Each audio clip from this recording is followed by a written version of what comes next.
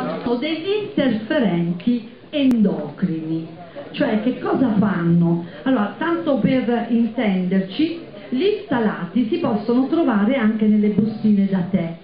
E che cosa succedeva? Succedeva che ehm, in qualche modo ehm, eh, la legge impone che ad esempio la carta e il cartone destinati al contatto devono essere realizzati con cellulosa vergine pura.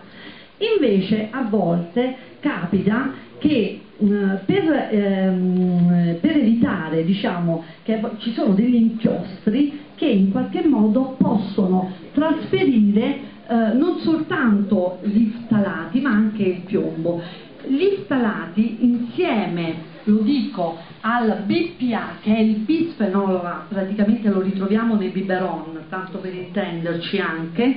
eh, sono delle sostanze che noi invece, nel mio caso mi interessa perché chiaramente io parlerò di questo, le lattine le lattine cosa hanno fatto? Invece di saldarle, no? ora con il piombo, perché così non abbiamo più il piombo, però abbiamo, in qualche modo abbiamo utilizzato quest'altro eh, materiale che è il bisfenolo A all'interno e che praticamente, quindi chi beve anche Coca-Cola, insomma, non, eh, sono abbastanza gli, le conserve, le scatole di tonno, insomma, in qualche modo possono contenere questo bisfenolo A, che per ora dicono che non desti grandi problematiche, ma eh, comunque fatto sta, vi dico soltanto questo, che addirittura alcune patologie, tra cui il diabete, l'ictus eh, e eh, l'obesità, pare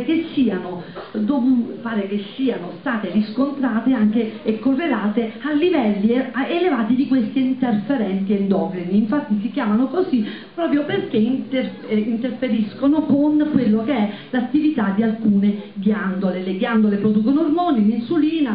insomma in qualche modo ci potrebbe essere una correlazione. Ceramica va benissimo, l'unica problematica è che nel caso in cui la fase finale di chiusura non viene realizzata correttamente ci potrebbe essere un pericolo di contaminazione che è chiaramente dovuta sempre alla smaltatura o alla vetrificazione perché la ceramica solitamente viene inserito una, una, una, una patina trasparente che si chiama vetrina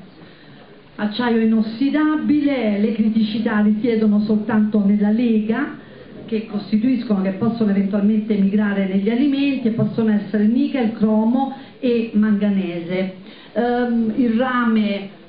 non ci sono grandi problematiche, è un ottimo conduttore di calore come materiale, quindi ottimo per la cottura anche in forno e in umido, non deve andare a contatto con gli alimenti, tanto è vero che poi c'è il fondo in acciaio inox oppure in ceramica e teflon.